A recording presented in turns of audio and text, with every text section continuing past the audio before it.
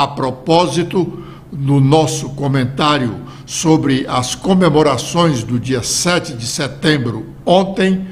destacamos o comportamento do presidente Bolsonaro, não tanto republicano como esperaria que fosse o do chefe de Estado Nacional, numa data tão simbólica.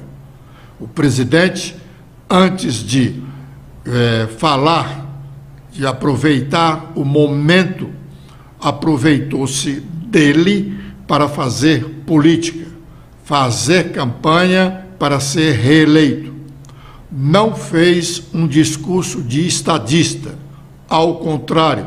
fez um pronunciamento até certo ponto chulo, muito pequeno para o momento,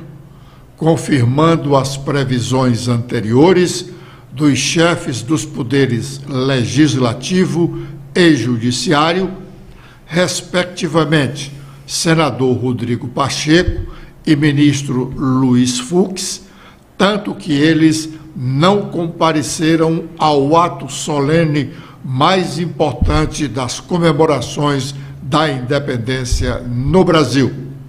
Pela primeira vez na história das comemorações da independência em Brasília, um evento daquela magnitude não contou com as presenças dos chefes dos poderes legislativo e judiciário,